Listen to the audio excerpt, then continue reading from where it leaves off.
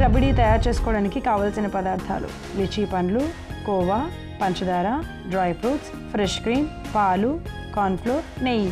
Lychee rabri తయారు చేసుకునే విధానం. ముందుగా స్టవ్ వెలిగించి పాన్ పెట్టుకొని ఒక పెద్ద గిన్నెలో పాలు పోసి సగం అయ్యేంత వరకు మరిగించుకోవాలి. మరొక వైపు ఒక బౌల్ తీసుకొని అందులో ఒక కప్పు కోవా ఒక కప్పు పంచదార అర చెంచా యాలకల పొడి వేసి బాగా కలుపుకోవాలి. పాలు బాగా మరిగి సగం అయ్యాక కలుపుకున్న కోవా మిశ్రమాన్ని వేసి కలుపుతూ కరిగించుకోవాలి.